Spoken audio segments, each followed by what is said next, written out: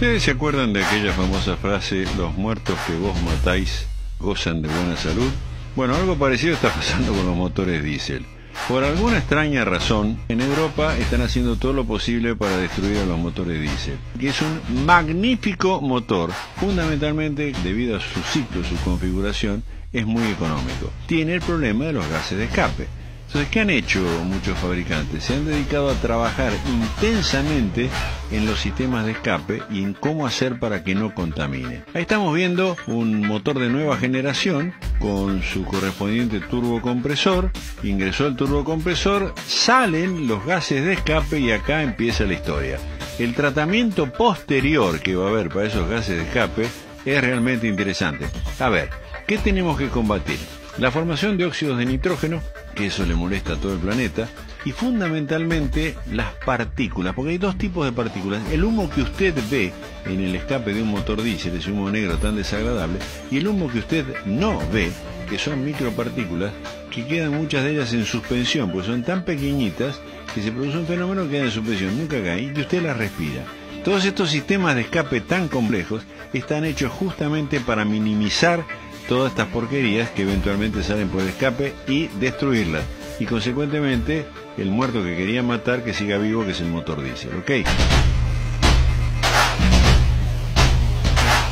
Veamos entonces cómo sería esta secuencia con este sistema de escape y antipolución, antipartículas de escape. El aire ingresa, a través de su correspondiente filtro de aire, ingresa al turbocompresor que lo comprime y lo manda al bien conocido intercooler, donde como el aire sale caliente del turbocompresor, en algunos casos llega hasta los 150 grados, lo enfría y lo manda dentro del motor a través del conducto de admisión. Se produce la combustión y salen los gases de escape, y esos gases de escape van a parar a este gigantesco filtro de escape, donde es sometido a una serie de tratamientos. El primero de ellos es un eh, FAP, es un filtro activo de partículas tendiente a tratar de retener en todo lo posible la mayor cantidad de partículas de hollín grandes y pequeñas, a través de un filtro cerámico, las va reteniendo.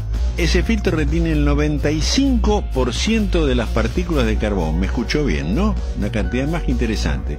Y además hay un efecto interesante entre los óxidos de nitrógeno y el carbón, que reduce lo que puede haber quedado de carbón, lo transforma a dióxido de carbono, que ya no es tóxico, ¿de acuerdo? Ya no es gas venenoso, y genera óxido de nitrógeno todas las formas de óxido de nitrógeno que están dando vuelta por ahí, les vamos a poner amoníaco en forma de urea. De la combinación del amoníaco y los óxidos de nitrógeno nos va a quedar formada agua y nitrógeno, que tampoco es tóxico porque forma parte del aire. Listo. Filtramos prácticamente todo. Pero, siempre hay un pero, ocurre que los gases de escape varían mucho su composición y su temperatura en función de la carga del motor. Si yo vengo con el motor a fondo es una cosa, si vengo con el motor parcialmente es otra. Y ahí aparece otra historia.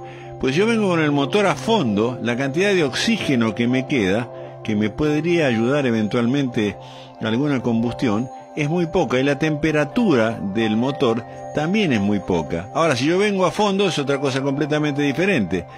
¿Qué hago entonces? Eh, recurro a, un sistema muy interesante, que es un inyector en el tubo de escape. ¿Cómo? Sí, sí, sí, sí, efectivamente. Le mando combustible. ¿Para qué?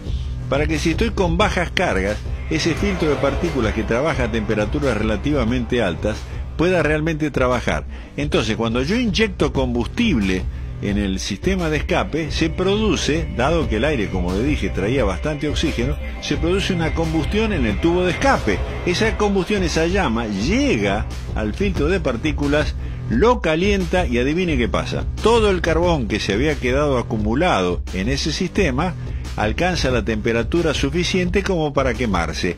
Se combina con ese oxígeno de más que le dije que venía en ese aire, porque el motor viene con poco acelerador, se quema y Santas Pascuas no quedó carbón, no quedó prácticamente nada, solamente dióxido de carbono. ¿Qué le parece? Genial, ¿no?